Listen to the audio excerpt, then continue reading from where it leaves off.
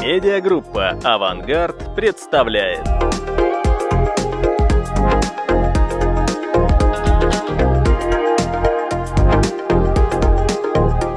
СОК-форуму 77 год существования. Он начался в 2015 году, наверное, многие помнят. И мы решили, что на самом деле, поскольку он не седьмой, а чуть другой, но про это мы расскажем завтра на закрытии, попробовать подвести некоторые итоги. Ведь действительно тематика соков, она, ну, наверное, сначала где-то 2010 года возникала. Вот, ну, может, чуть раньше. И мы попробовали, хотели собрать команду, которая так или иначе стояла у истоков старейших соков России, и поговорить про то, что было, какие были перетрубации, изменения по дороге, что менялось в технологиях, что менялось в запросах э, внутренних заказчиков, что менялось в злоумышленниках, и как эта система соковская, создаваемая достаточно давно, эволюционирует к текущему времени. Собственно, представители э, в разные годы старейших соков на этой сцене, кто-то отказался прийти, внутренний пиар не согласовал участие, но тем не менее, представляю. Сергей Валуйский, Сбербанк.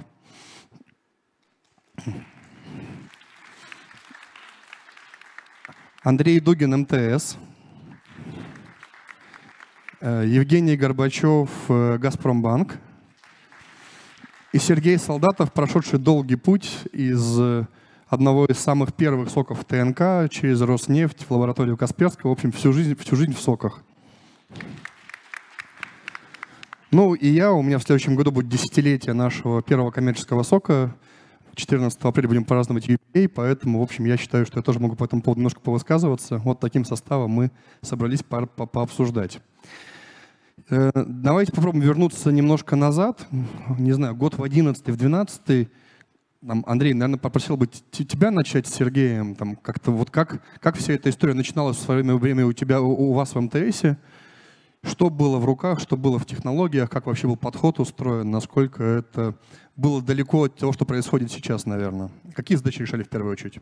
Ну, если брать 11-12 э, года, то в это время у нас уже пришли вплотную к э, необходимости централизации событий, плюс, э, кроме того, мы уже там потестировали парочку CM. Э, если кто помнит, даже когда-то были такие э, прародители CM, как NetForensics и э, Cisco Mars, которые сейчас уже ну, практически на рынке не представлены. Э, мы их прошли еще там до 2010 года. Э, поэтому 11-12 года э, нас уже вплотную привели к необходимости собирать нечто в единую консоль, и у нас тогда был такой неудачный опыт интеграции CM с тикет-менеджментом внутри компании – Э, и особенность была какая, что CM, когда новые правила, как вы понимаете, заводишь, он фалсит. И если э, эти все фалсы вдруг попадают в тикет-менеджмент систему компании, которая не предназначена для того, чтобы, а, это false пометить там тысячу инцидентов массово, проходили через упражнения, когда мы инциденты тысячи штук закрывали поштучно, и с тех пор мы поняли, что, ну, наверное, Э, переводить автоматически э, в тикет-менеджмент компании инциденты не нужно. Я слышал, э, опыт у коллег был аналогичный из других SOC ов. Но я думаю, тут, тут еще коллеги расскажут свой, скажем так, какой у них был experience. Поэтому вкратце вот к этому мы подошли. А начали мы где-то, наверное, чтобы не соврать, года ну, с пятого-шестого, э, как э, совокупность, что есть э, технологии, которыми нужно это все дело ловить, анализировать, что есть какие-то процессы, когда это нужно все-таки не сумбурно, где-то что-то появилось, и потом начинаем Э, копать, понимать, как что делать. Э, и э, люди, которые будут заниматься этим, это должны быть отдельные люди, где-то вот начало формироваться в то время. Но учитывая количество систем информационных, глубину проникновения всех информационных технологий во все сферы бизнеса, собственно, тогда это было далеко не так ярко выражено, как сейчас. Давала ли какую-то специфику работа операторская? Все-таки сок МТС видимо, должен чем-то отличаться от соков нефтяной компании, банковской, или это было плюс-минус похоже по твоим ощущениям к текущему уже как коммерческого сока, подключающего разных заказчиков? А, Специфика, конечно же, есть, э, но основная э, инфраструктурная часть, которая внутри компании находится, то есть э, у нас используются ну, практически те же технологии в корпоративной сети, технологии обеспечения IT-сервисов. Э, э, у нас э, те же там технологии предоставления доступа в информационные системы просто там по своим процессам. У нас те же технологии Microsoft, те же Unix-системы, просто они заточены под какие-то свои сервисы. Есть своя специфика. Поэтому общая инфраструктурная часть по большей части очень родственна другим компаниям, клиентам. А, но, тем не менее, есть своя специфика телекоммуникационная, то есть это те сервисы, которые предоставляют э, какую-то э, либо информацию, либо какую-то услугу абонентам. А, это э, большая сеть, активное сетевое оборудование. Поэтому, собственно, специфика своя есть, но ядро все-таки корпоративной сети очень похоже на всех остальных. Да, понятно, спасибо. Сергей, насколько я помню, солдатов у тебя вообще тематика сока начиналась вообще без CM. Вот даже у Андрея какой-то первый Cisco Mars появлялся. Как там это все время строилось в твоих бывших работодателях? Как эволюционировало на первых годах? Я, наверное, начну с какой-то бизнесовой обоснованности так мы все тут сразу какие-то CM, значит, я, я сегодня пообещал, и, кстати, Леша сказал, я говорю, если еще раз на, этой, на, на, на этом сок-форуме будут сравнивать сок и CM, я больше сюда не приду. А, и вот опять CM, CM. Смотрите, а, мы, мы стартовали э, с конкретной бизнес-целью в, наверное, четвертом, пятом, шестом годах. А, сеть моего предыдущего работодателя, компания ТНК она объединилась в единую, то есть э, все сервисы стали корпоративно доступными, сеть сквозная, единый домен. А, соответственно, такая технологическая идентичность, она требовала идентичного подхода к информационной безопасности – то есть э, набор сервисов безопасности в каждой точке должен быть примерно одинаков, ну потому что домен единый, и неважно у вас там, не обязательно с Москвы будут ломать, могут сломать с Воронежа, могут сломать с Рязани, могут сломать там с Саратова, с Нижневартовска, с чего угодно, корпоративный домен единый. И, э, соответственно, сервисная составляющая безопасности тоже должна быть единая. И СОК это был неплохой ответ э, этому вызову. То есть э, был определенный базовый набор требований, сервисов, которые должны были реализ... быть реализованы для обеспечения безопасности вот этой вот единой корпоративной сети.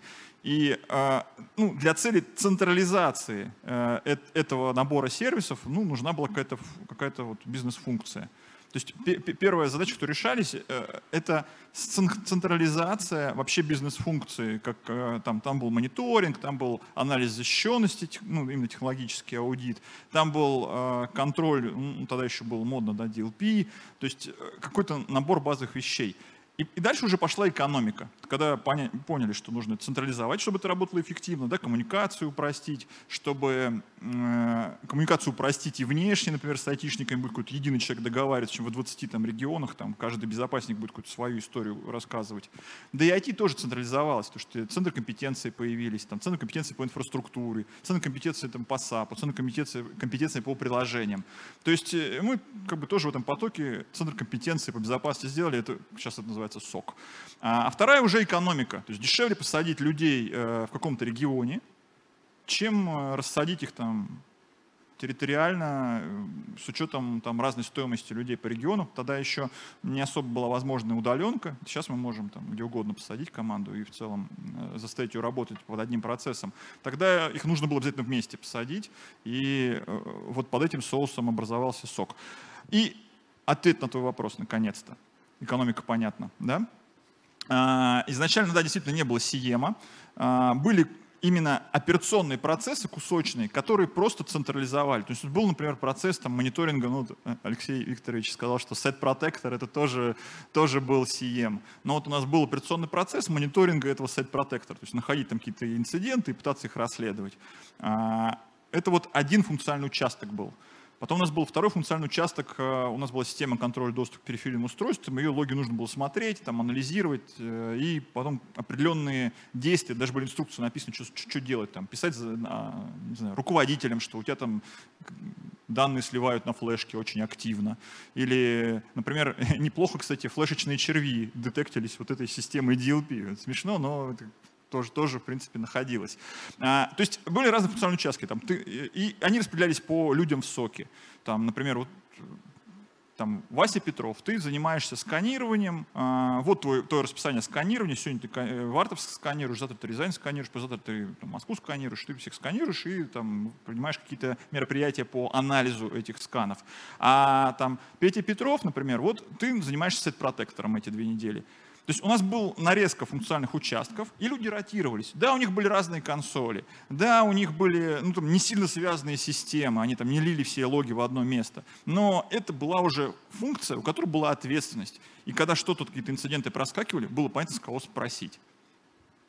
Да, круто. Спасибо большое. Сергей, э, ты, как я понимаю, пришел в Сбербанк ровно на некоторый процесс большой перестройки. Того, что было раньше, и то, что создавалось как-то что было вначале на руках и почему была вот, собственно, цель, наверное, пересоздать, перезапустить, эволюционировать функцию, вот, которая, собственно, сформирована в Сбербанке сейчас, там, в 16-м, по-моему, 17 году? Ну да, наверное, мы такой историей не похвастаемся э, в банке. Мы не телеком. Здесь вот не хватает, наверное, на сцене ребят из Вымпела, на которых там в конце, там, в 2008, 2007, 2005 там тренировались все, мне кажется, в стране как строить соки, в том числе и будущий э, Solar. Вот, их, конечно, не хватает на сцене. Вот. Банки, наверное, все-таки были последними, э, кто в эту вступил в историю сокостроения, потому что пошли интеграторы, а потом потянулись банки. Поэтому банков так, нету этого десятилетней истории соков. Ну, не знаю, по крайней мере, точно я про Сбербанк скажу. Ребята, может быть, с Газпромбанки чуть раньше начали. Ну, расскажет. Вот. Э, у нас вся эта история э, завертелась в 2014-2015 году, вот, когда появился э, более-менее полноценный CM. Вот, и сразу стал вопрос, ну, что до этого представлял там, представляла там кибербезопасность в Сбербанке ну, в 2014 году или в 2015. Да, это все-таки была большая история про эксплуатацию, история про ну, не самое быстрое реагирование ввиду того, что тербанков было много и централизованность была очень низкая. Только начинались программы централизации, поэтому очень сложно было, в принципе, реагировать. Потому что каждый тербанк это была отдельная история там, со своей жизнью. Вот. Поэтому в 2014 году, как только CM появился, 2014-2015 год, сразу возник вопрос, что нужно с этим что-то делать. И делать, наверное, правильно, потому что уже к тому моменту был достаточно серьезный опыт наработан у коллег и в телекоме, и в том числе в интеграторах. Поэтому мы сразу решили начать уже серьезного проекта, вот, не пытаться что-то там э, делать самопально, а уже сделали такую серьезную историю э, с IBM, которая, в принципе, всем известна. Вот, ассессмент был в 2016 году, вот, и в 2017 мы уже начали так полноценно делать э, процессную модель. Вот. Но если брать десятилетний цикл, то, наверное, 17 год это больше разговор уже такой о настоящем соков, там 17-18 Потому что мы сразу резко, очень динамично начали по всем фронтам развиваться. То есть не было такого вот длительного гэпа. А что толкнуло к тому, чтобы вот эту ситуацию перезапускать, перестраивать? Внешние факторы, внутренние? Ну, смотри, наверное, толкнула централизация. Потому что как только мы подошли к централизации, мы поняли, что вот э, текущая наша организация она не готова, ну, организационная структура не готова к тому, чтобы вот этот огромный поток информации, который стал теперь в центре, его эффективно отрабатывать. Потому что там реагирование на инцидент было там день-два. Ну, вот, ни в какие ворота не идет. Да? Больше упор был на эксплуатацию. И стало понятно, что вот с этим объемом информации ее нужно каким-то образом структурировать. Невозможно работать в хаосе. Почему и сразу стал вопрос, что нужно что-то делать с процессами. То есть каким-то образом выстраивать. Там, и не просто выстраивать там L1, L2, L3, а делать какую-то более серьезную историю с э, не только там функцией реагирования, да, и сразу с threat а сразу с э, эксплуатационной составляющей, потому что у нас нагрузка эксплуатационная была очень высокая. Мы, в отличие от многих, наверное, соков, еще и активно занимались эксплуатацией и сопровождением всех средств защиты. Поэтому все это надо было вот увязать в вот, единой конструкции, в единой какой-то процессной модели. И целый год мы потратили, вот, считай, 16 Ну да, и 16-17 год мы потратили на ассессмент, на то, чтобы эту процессную модель выстроить, и его штатную структуру под это делать все, создать. Да, спасибо. Действительно, централизация и упорядочивание много где становилось стимулом. Жень, там можешь ли как-то... Ты чуть позже пришел в команду Газпромбанка, но тем не менее какой-то референс, вот как в твоей уже жизни это было устроено. Да, здравствуйте, коллеги. А, действительно, лично я не могу похвастаться, что стоял именно у истоков создания сока Газпромбанка, но точно могу сказать, что в 2011-2012 годах секционный центр уже присутствовал. И, э, ну, наверное, стоит затронуть такой вопрос, а, что же тогда вообще для кредитной организации был сок. Потому что для коммерческих соков это понятно. Это ну, экономика, это, так сказать, услуга, это получение прибыли. И здесь действительно можно заходить с идеей сбора событий, аналитики и, так сказать, предотвращения атак. Но что такое был банк в 2010-2011 годах? Давайте вспомним. Для нас а, первостепенные задачи все-таки были это большой фрод на юриков – а, физики ДБО, а, по сути, начинали развиваться.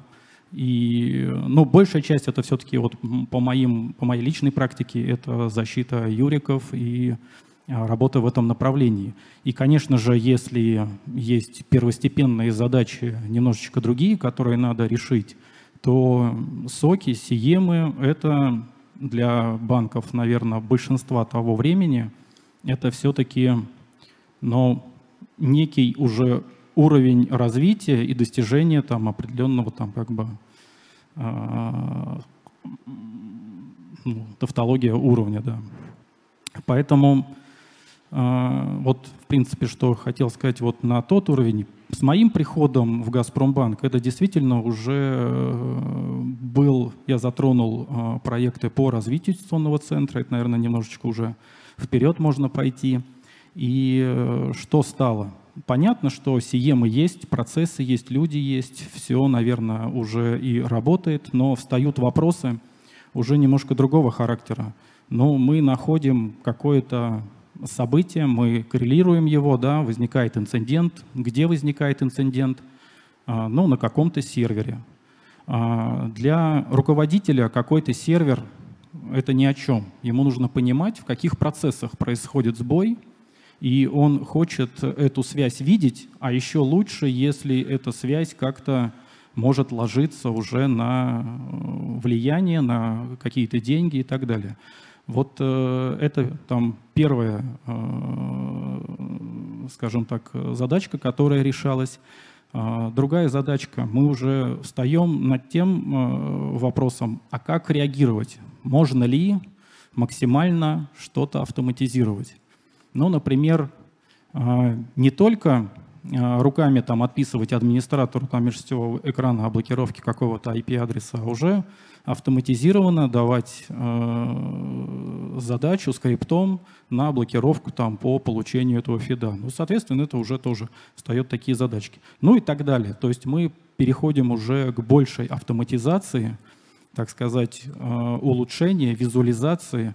И, конечно же, для руководителя а, представления наших там результатов. Ну и в первую очередь это, конечно, там выявление мошенников, атак и так далее. Понятно, спасибо. Ты довольно важный тезис, по-моему, затронул. Вообще про это много говорят, что на самом деле одна из болевых точек вообще работы любого там сока в том или ином виде – это история про asset management. Без понимания активов, без понимания, как компания устроена. Ну и у, собственно, аналитика сока никакого контекста полноценного нет, а уж тем более у бизнеса эти мистические IP-адреса, в общем, никакой понятной картинки ему не дают. И я вот знаю, что в Газпромбанке это было устроено, вот разработка с SMDB. SMDB вообще айтишная функция классически была забрана в ИБ, и введение SMDB-шной базы, в общем, было приземлено в подразделение Соковское. Ну да, действительно это так. И на сегодняшний день мы сейчас э, ведем эту базу э, своими силами. А, понятно, что есть дискаверинг инфраструктуры со стороны IT-блока, но вся информация сливается к нам, и работу по связи а, хост, а, сетевая компонента автоматизированной системы проводим мы, так называемые сервисно-ресурсные модели формируя. И, конечно, для нас эта работа на сегодняшний день является одной из основных.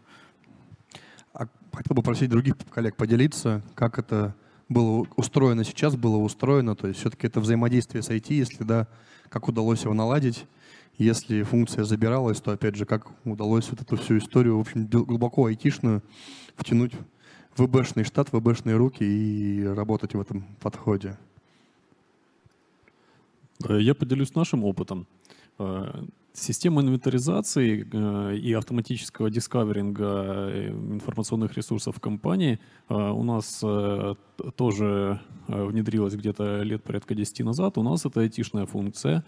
Информационная безопасность вместе с IT у нас довольно плотно взаимодействует в решении многих вопросов. И я помню, что вот лет 10 назад Э, лично я э, тоже работал с айтишниками, которые допиливали систему инвентаризации. Э, я, учитывая там, свой прошлый опыт работы в области администрирования IP MPLS сетей фаерволов. Я им давал рекомендации, каким образом, откуда собирать информацию, там, где что, как из ARP-таблиц выгребать, где, каким образом еще получать Э, доступ к тем или иным ассетам, потому что изначально системы инвентаризации, которые ориентируются на, там, например, э, отклик в виде ICMP ответа, они могут не дождаться ответа от того, у кого это заблокировано, в то время как варп таблицы будет и так далее.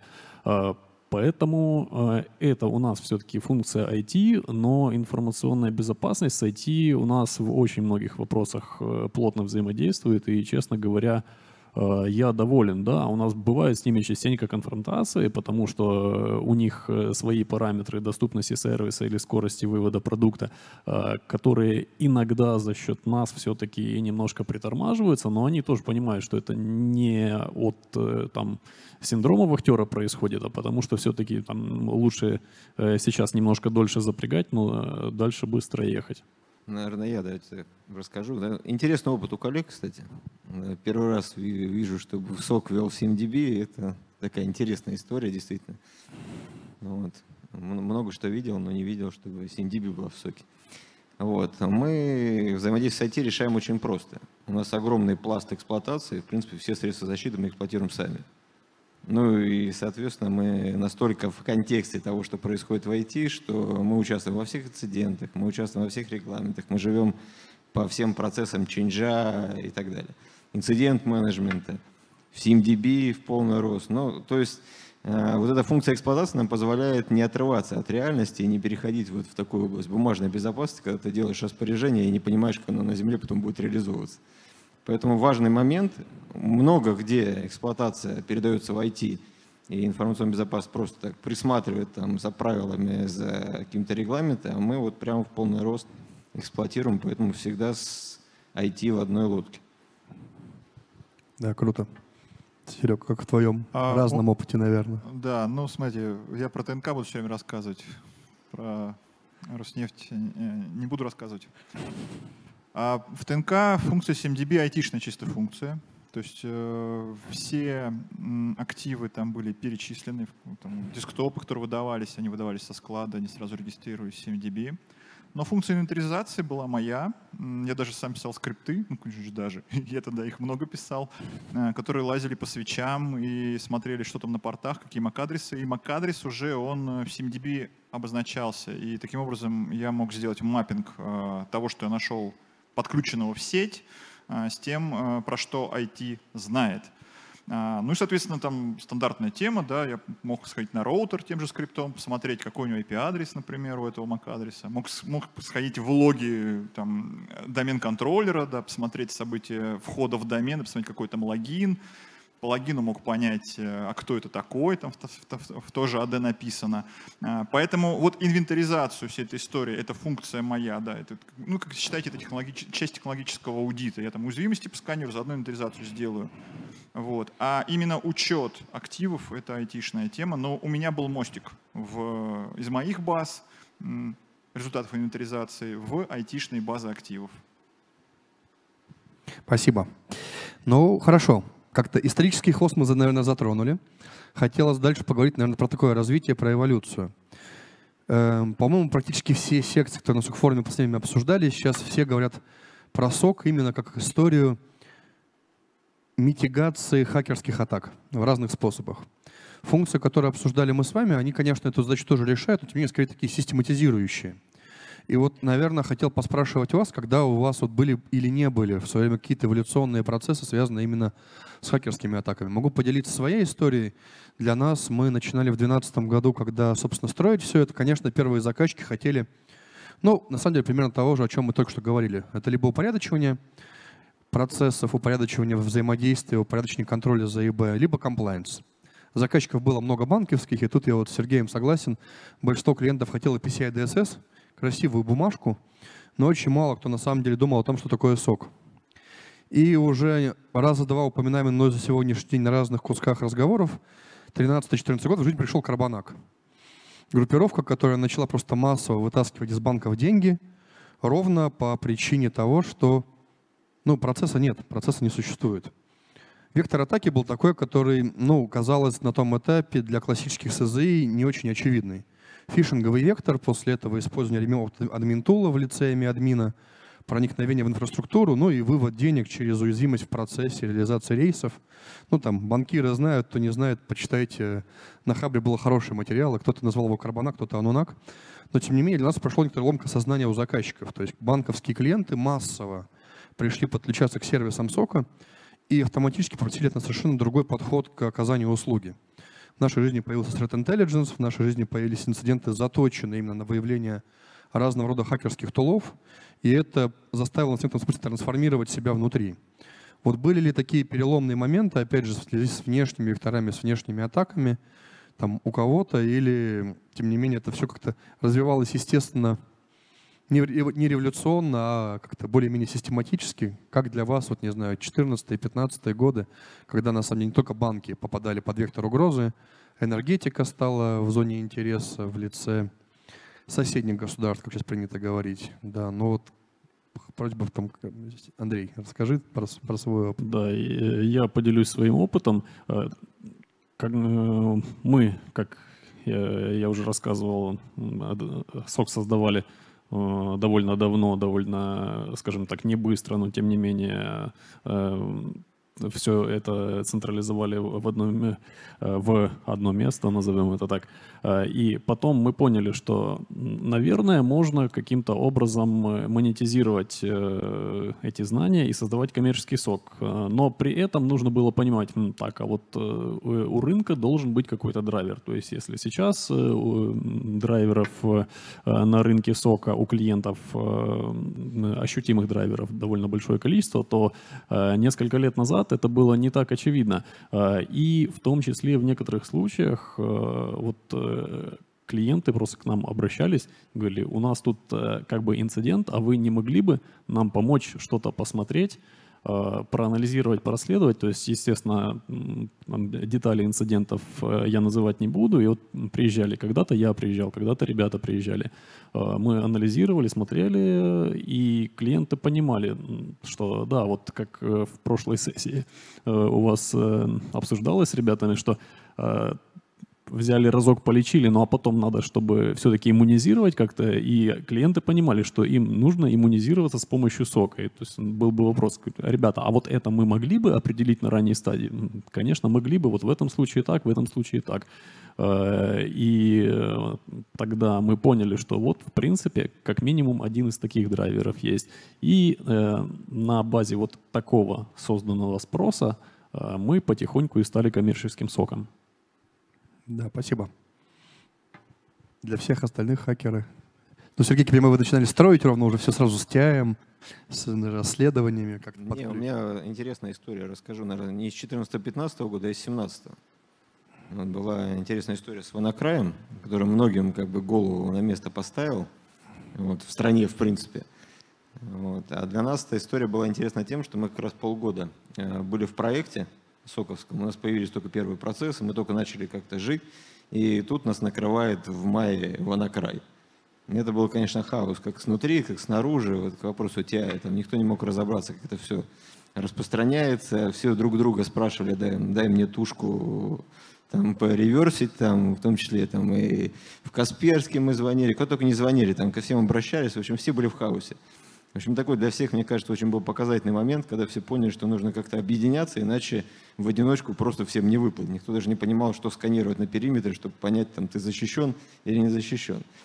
И вот э, этот хаос пришел как раз на момент, когда у нас процессы были еще такие сырые-сырые.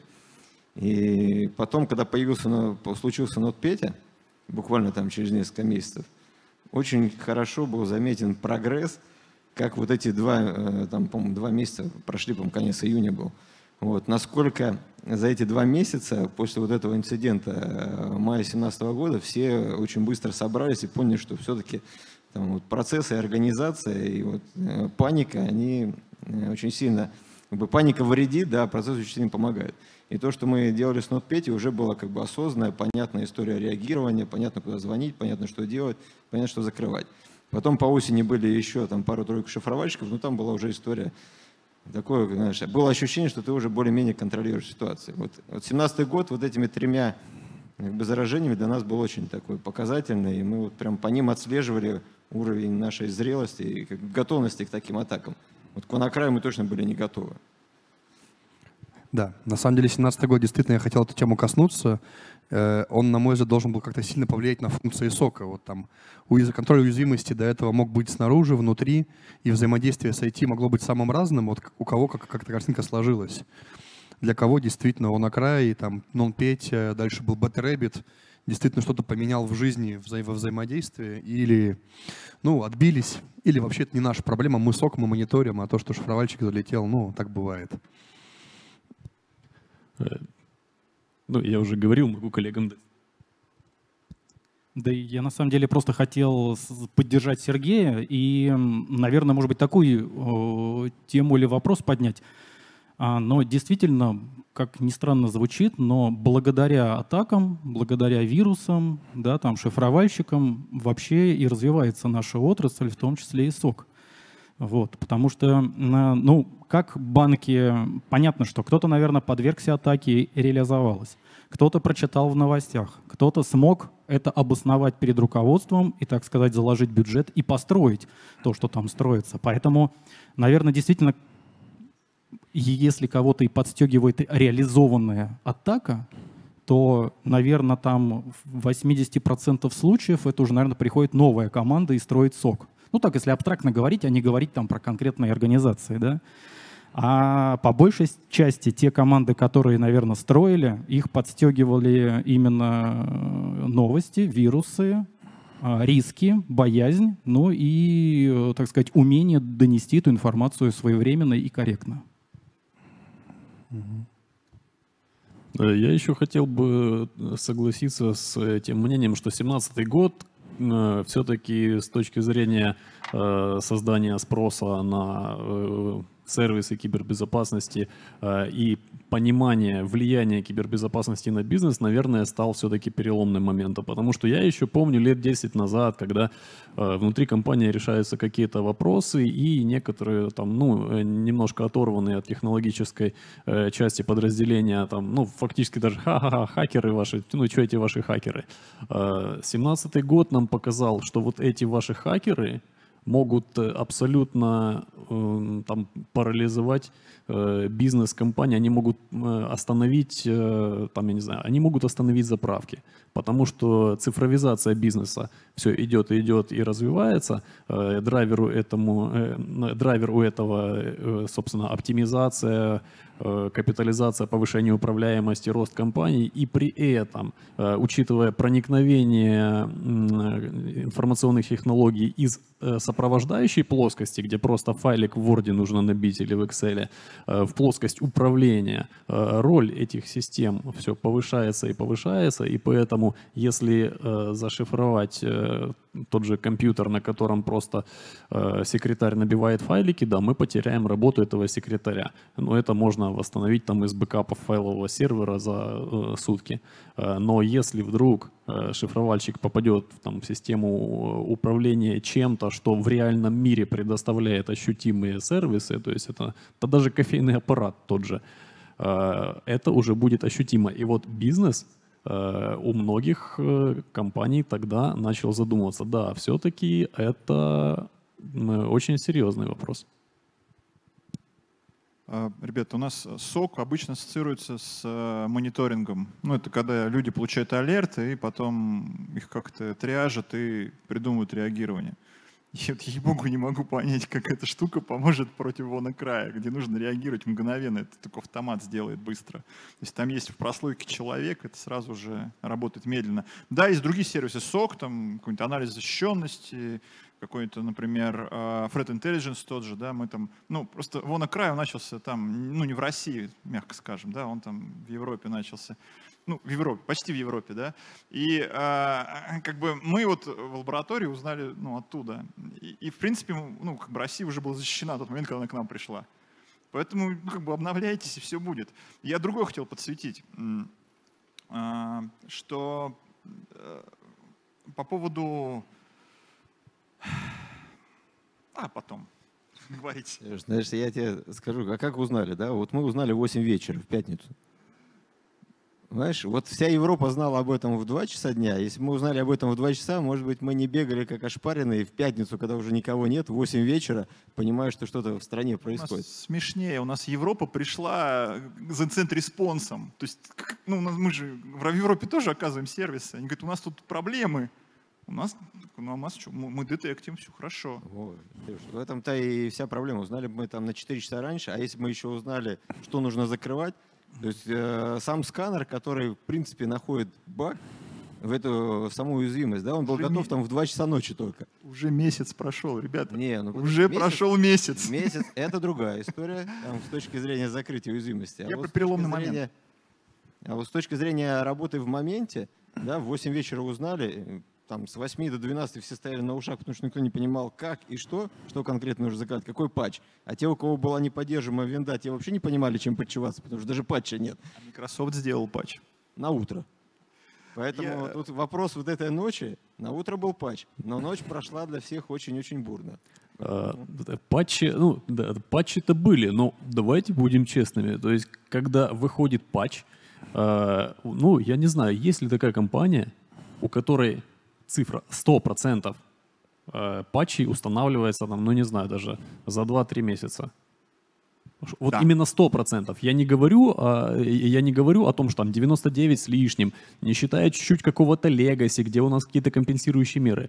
Вот если бы реально патч-менеджмент на 100% был налажен во всех компаниях, вот я думаю, это бы ну, очень сильно усложнило жизнь злоумышленникам.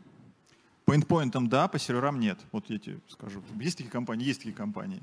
А, по серверам, потому что это можно сделать только определенные окна сервисных вот, работ. Вот, вот, да. вот. По endpoint это можно вот, а 100, Нет, так, а, а, когда я говорю, говорил 100%, я имел в виду не только endpoint. С endpoint понятно. Endpoint не требует постоянного включения, он никакого сервиса не оказывает. Это да. То есть вот именно 100% всей инфраструктуры. Не, ну в любом случае, если было бы подчевание, то угрозы было бы значительно меньше. Особенно вопрос периметра всех волновал. Что первая история была с периметром, мы просто сканировали весь периметр, понимая, не торчит ли там 443 на периметре. И вот это была самая болезненная У вас история. нет биос на периметре? Не, нет, ну понимаешь, серьезно. может быть. Ты подумаешь, как бы там огромная инфраструктура. Да, по поводу вот. переломных моментов я хотел еще заметить, что, ну, конечно, для ЛК это это Дуку-2, да, там все написано, все знают эту историю душесчипательную. Собственно, наверное, сок появился благодаря вот этой, вот этой ситуации. А еще хотел подсветить такую вещь, что на самом деле ЛК, она все продукты ну, как бы у себя использует. И вот э, ну, мы пришли в 2016 году с соком, и мы сделали сервис MDR на базе технологий, которая в 2013 году была придумана. Это важно понимать, что в 2013 году внутри лаборатории Касперского использовался продукт, который, в принципе, делал MDR. Ну, для внутренних нужд, конечно, он там не, не, не, не публиковался, как бы, ну, у нас просто те же продукты используются, но немножко э, там другие у них там конфигурации. Вот. То есть э, переломный Дуку-2, технология старая, э, в 2016 году ее маркетировали, превратили в оказываемый сервис, и Сбер был одним из первых, кто это еще смотрел еще, скажем так, плохо работающим у нас было мало автоматизации, мы много телеметрии лопатили вручную, А, потом как раз вот эта практика лопачения вручную превратилась там в те самые ханты, в те самые EOA, в те самые корреляционные правила, которые сейчас вот, ну, позволяют это немножко быстрее делать. Спасибо вам. Да, спасибо. Я действительно, на самом деле, мне кажется, что мы примерно про одно и то же говорим, что на самом деле прошла некоторая трансформация сознания.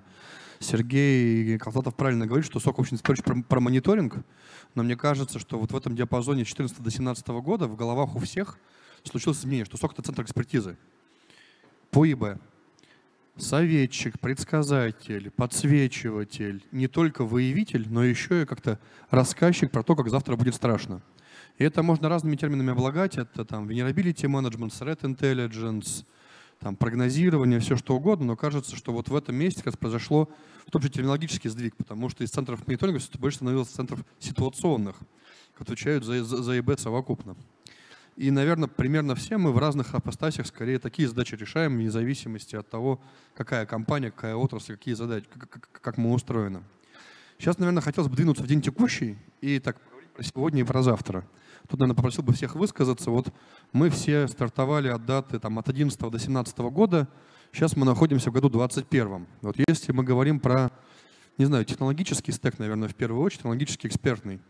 Вот чем мы обросли за это годы, годы в плане технологий, экспертизы, там, подходов, и куда двигаемся дальше. Вот. Если кто-то готов разделиться своими условно-публичными планами, потому что в планах технологическом возникают, то там было бы интересно послушать, как вы видите текущее состояние и завтрашнее. Ну, я поделюсь.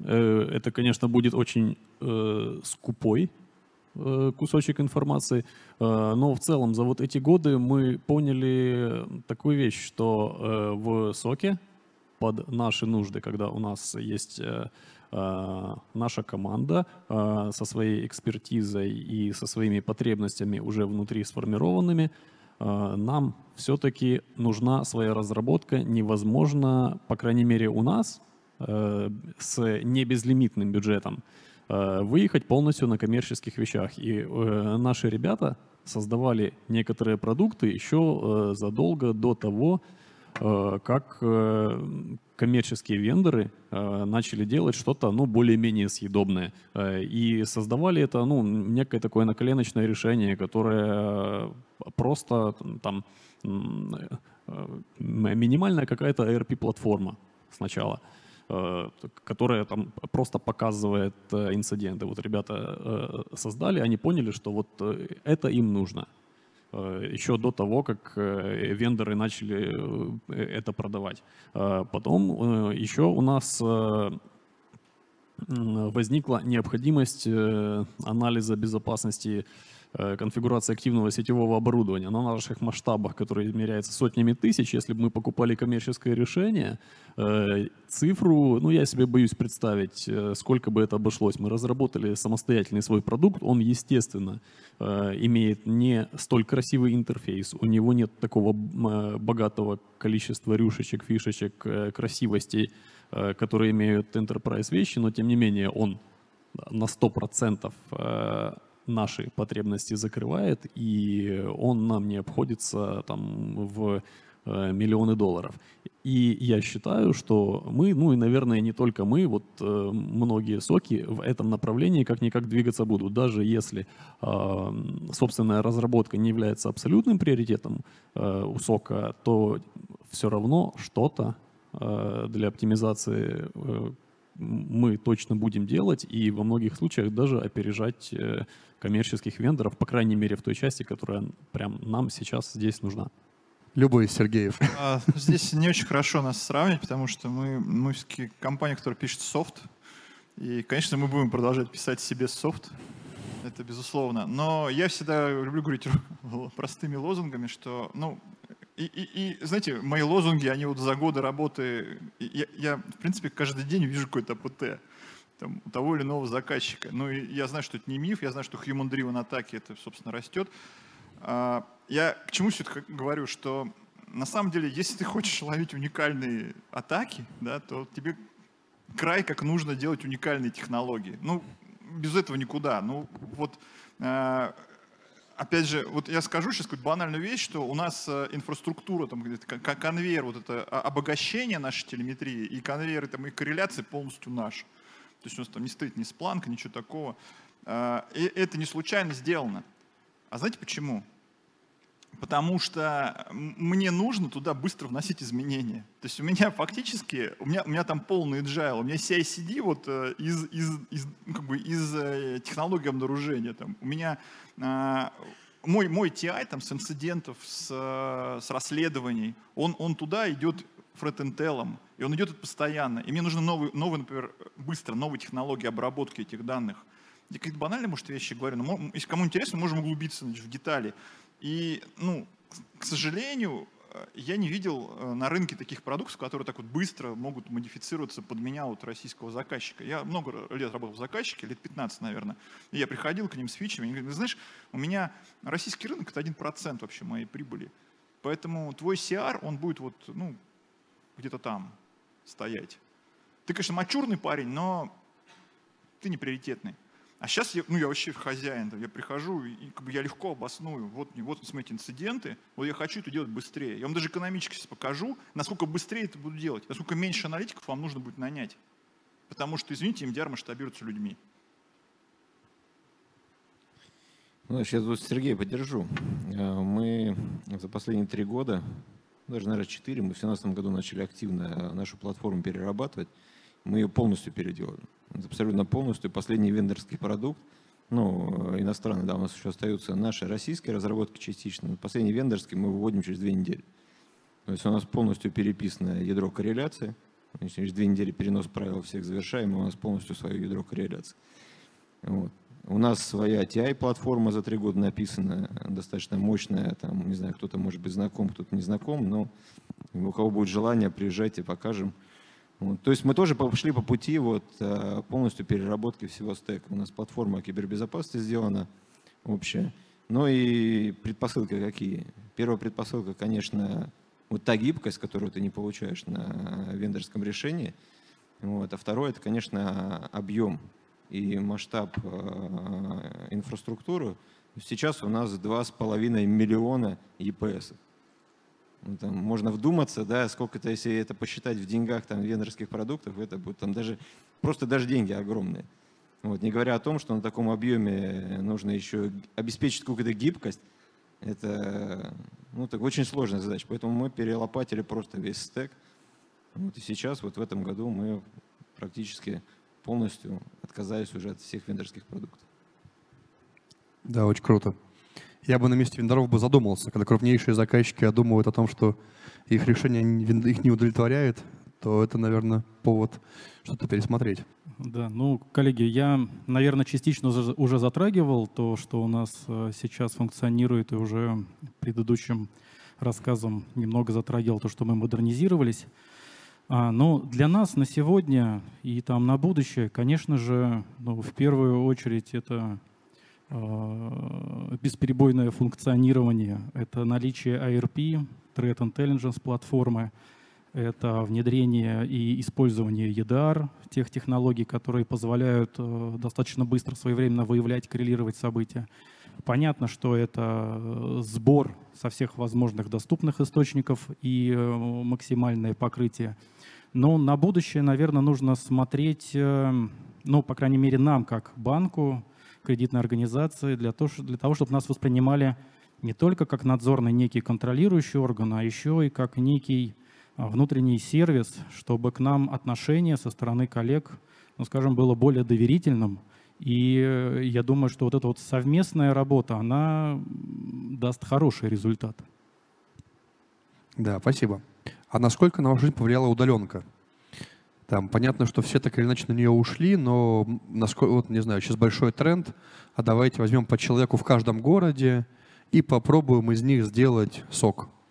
Вот там для вас это ответ, для вас это решение, для вас это проблема за счет того, что люди, которые до этого были недоступны, другим работодателям теперь становятся доступны.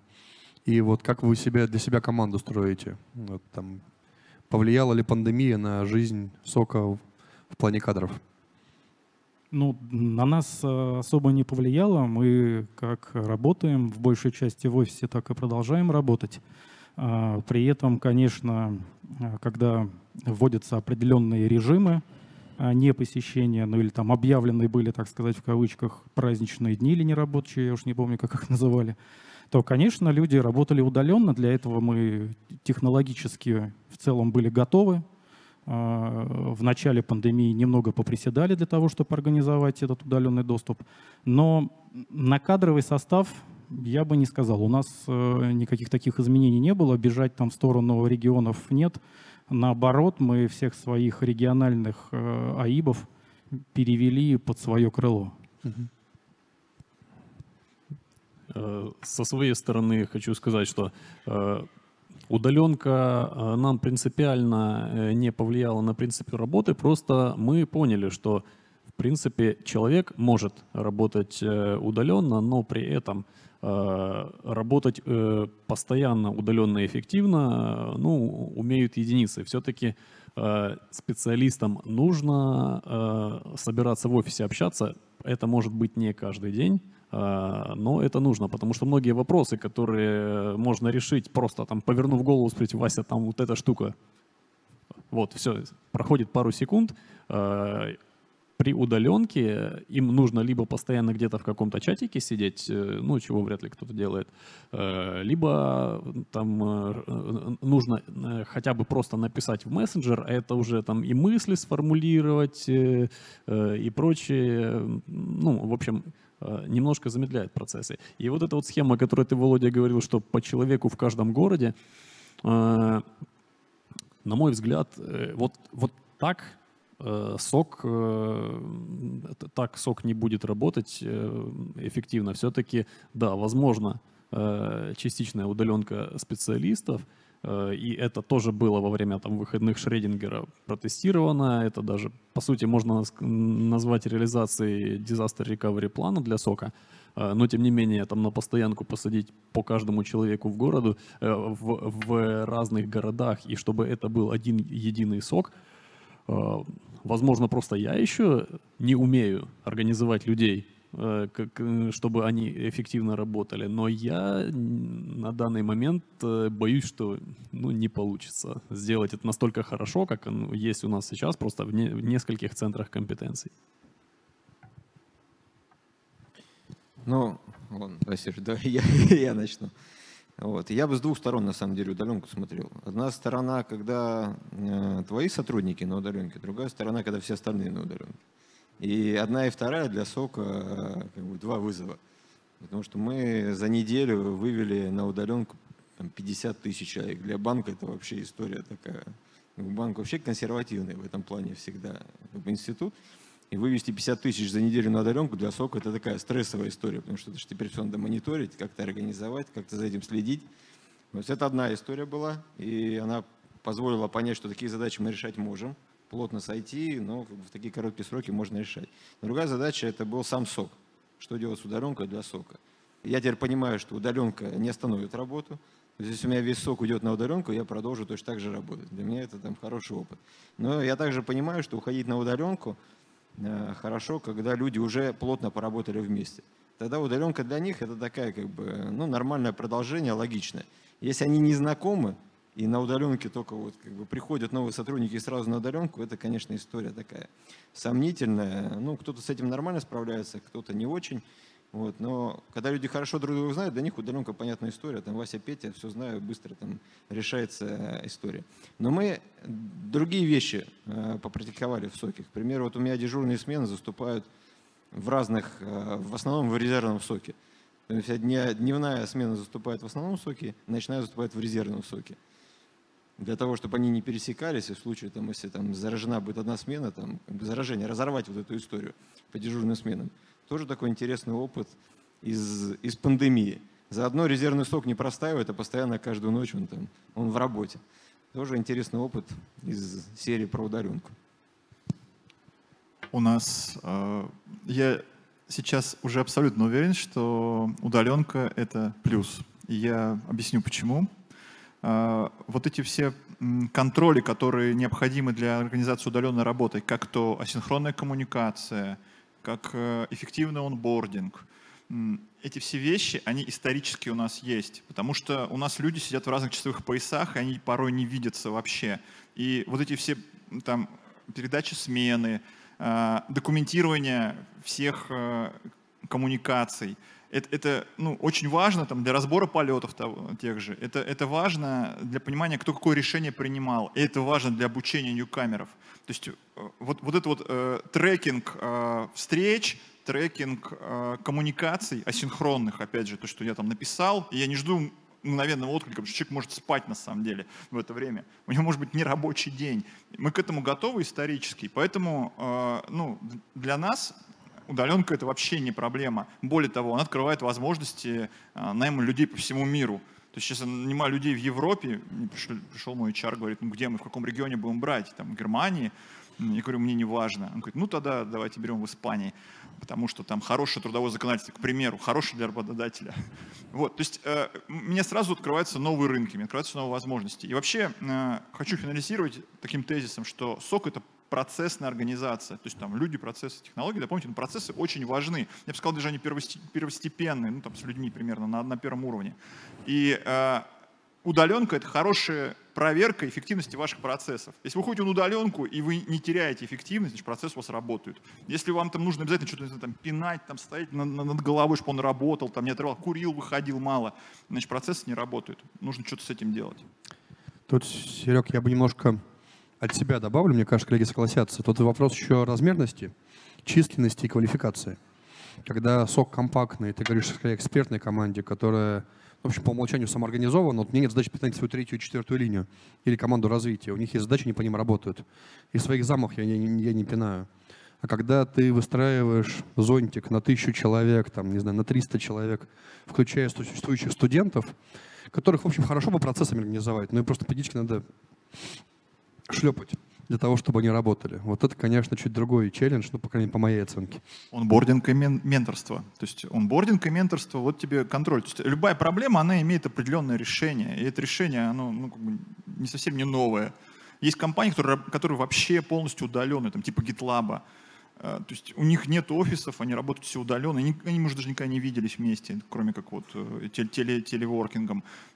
Поэтому это работает, и ну, время покажет, это плюс. Хорошо, да. Мы все слегка олдскульные, Сергей для нас некоторый New Age. Посмотрим, к чему это пройдет через там, 10 лет.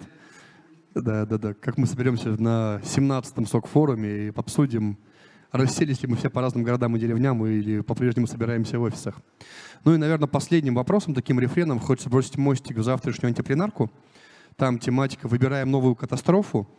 Наверное, такой апокалипсис рисовать не хочется, но тем не менее хочу от каждого спросить, не знаю, от одного до трех пунктов – вызовов перед соком, которые вы видите впереди в связи, не знаю, с трансформациями IT, в связи с э, пандемией, с чем еще? Вот что у вас, как руководителя, в голове наиболее часто заставляет вас плохо спать по ночам, и какие челленджи вы для себя видите в будущем, не знаю, на 2, на 3, на 4, на 5 лет? Что тревожит? Сергей, давай, наверное, тогда по порядку с тебя. Не знаю, что меня тревожит. Там такой провокационный вопрос, что тревожит. Ну, я могу, могу себя начать, понятно, удобнее. Понятно, понятно, куда развиваться, вот, понятно, что делать, понятно, куда идти. Что тревожит?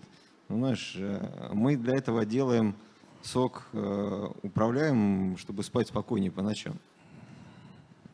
Внедряем процессы, учим людей, там, совершенствуем технологии, чтобы все мы ночью в холодном поту не просыпались, не понимая, что у нас там происходит в соке.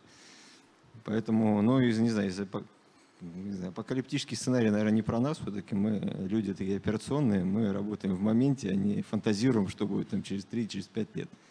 С точки зрения, куда развиваться сок, ну, на мой взгляд, это все-таки история, от которой мы не уйдем, это автоматизация – вот, это авто response и скорость реагирования. Вот правильно Сергей сказал, да, невозможно там человеку бороться с WannaCry ем. Да, невозможно. Потому что скорость распространения этой истории намного выше, чем человек сможет руками там это все бороться. Но с этим можно бороться автоматически. И вот автореспонс – это история, на мой взгляд, такая достаточно серьезная. Э, более сложная корреляция. Не простые правила, а уже сложное контекстное обогащение. Это то, что вот нас ждет там, в ближайшем будущем. Но искусственный интеллект, ну, понятно, все в эту сторону идут. Вопрос, насколько он заменит людей, какие линии мы будем выводить, как быстро. Ну, то есть это все, вот, что нас ждет, мне кажется, в ближайшем будущем. А с точки зрения апокалипсиса, ну, не знаю, я не, не пророк, и тут не скажу, что нас ждет там, через пару лет, чего бояться. Да. Посмотрим. Спасибо. Андрей? Я для себя вижу такие вызовы вообще, в принципе, в отрасли кибер, ну, в, в кибербезопасности и для сока в частности, э, которые диктует, э, скажем так, мировая технологическая стратегия, если это можно так назвать.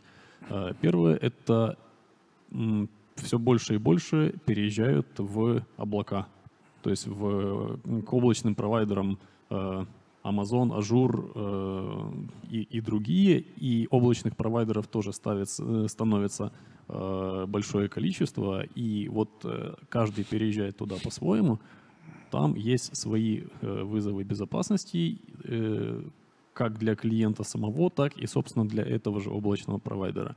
Поэтому это первый вектор, э, в который э, нужно копать и работать. Э, Второй вектор, который я вижу, то, э, есть что э, нам дает мир, это глобальная цифровизация всего и вся, то есть все больше и больше переезжает в информационные системы личных данных, и поэтому, соответственно, чем больше туда переезжает, тем больше, возможно, нужно обращать внимание на то, чтобы обезопасить э, уже э, тех же самых цифровых, цифровых двойников, которые у каждого из нас потихоньку создаются в э, разнообразных порталах. И третье, как вытекающее из первого, наверное, все-таки вот из таких совсем космических облачных целей, это безопасность того, что будет происходить в метавселенных, которых сейчас не то чтобы слишком большое количество, но количество довольно э, немалое. Как, как они будут развиваться, как они будут объединяться, будут ли они объединяться в какой-то интеграционный хаб метавселенных или что-то, еще будет. Э, и туда же в эти метавселенные будет мигрировать психология человека, когда там э, можно будет сидеть в облупленной квартире, а в это время надел очки виртуальной реальности, и ты в дворце. Э, и э, что таким образом будет там происходить в этих метавселенных, как это будет влиять на жизнь человека в реальном мире, э, ну, тоже, я думаю, вопрос э, безопасности там не на последнем месте. Ну, я попробую опуститься от мировых тенденций к нам. А, То, что я вижу и думаю, что, наверное, будет для нас, для всех вызовом, это создание единой биометрической системы. То, что сейчас как бы происходит, и а, загоняя, ну, заводя туда людей, использование ее, а, конечно же, это безопасность э, цифровой личности, кража Только вообще сложно вообразить, что может произойти, если происходит кража или подмена. Ну, соответственно, я думаю, что это наше светлое будущее. Ну, второй, наверное, вызов, который может также произойти, также так или иначе может быть связан с данными, но это наличие QR-кодов, привязка QR-кодов э, всем э, людям. Соответственно, дальше, наверное, можно представить, что это развитие будет идти не только в рамках того, что мы пользуемся там рестораном и транспортом, а скорее всего, наверное, и э, финансы будут на это подвязываться. А, Ну, ну и в целом, наверное, потому что видно, хотелось бы большей грамотности людей а, в области информационной безопасности и большей, наверное, какой-то ответственности от коллег, которые приходят и так или иначе работают бок о бок с нами, но периодически действительно слышишь странные вещи, там, говорить их не буду, но бывает. Поэтому, наверное, вот хотелось бы в этом направлении. Вопрос был, в чем я, в чем у меня голова болит, да? То есть не, не, не что нас ждет апокалипсис, не апокалипсис, нас не ждет апокалипсис, сразу говорю. Конец, конца света не будет. А, Я, я точно знаю, да? Да, у меня голова болит, на самом деле, повышение эффективности нашей команды. Я уверен, что атаки будут появляться, я уверен, что они будут э, все новые, сложные, Я уверен, что технологии обнаружения будут постепенно уходить в автоматику. Ну, то есть э, мы не будем одни и те же атаки находить все время вручную. Ну, это очевидно, да. То есть э, вот то, что там говорили, автоматический response, там, ну, как бы это уже придумано, называется антивирус, да. Он увидел, сразу отреспондил. Неважно, как он это сделал, на endpoint е принял решение в облаке или гибридное и на эндпоинте в облаке. Ну, как бы любой автомат, как бы он уже изобретен давно. И все новые наши там вызовы, они будут коммуди- коммодизироваться, да, и уходить в антивирус. А, но это не значит, что у меня не будет пропадать работа. А, потому что никогда, никакая автоматизация а, не приводит к снижению трудоемкости. Ну, как бы я странную вещь говорю, да, но подумайте над этим получше, и вы поймете, что любая там автоматизированная система просто она как бы переводит на другой уровень а, функцию, да, там мы там будем больше видеть, глубже видеть, быстрее обнаруживать, но то, что сократит там количество людей, нет. То есть оно сократит, например, количество людей в моей команде, но увеличит количество разработчиков, количество математиков, которые будут придумывать там глубокое обучение. А, так вот, я забочусь об автоматизации. И я сильно э, надеюсь, что те продукты и сервисы, которые я буду предлагать, они будут адекватны уровню угрозы э, наших заказчиков. Спасибо. Ну что, важно на самом деле, что никто не верит в апокалипсис. Все понимают, что еще впереди много работы, и будем двигаться вперед. На этом мы, наверное, заканч- заканчиваем нашу секцию.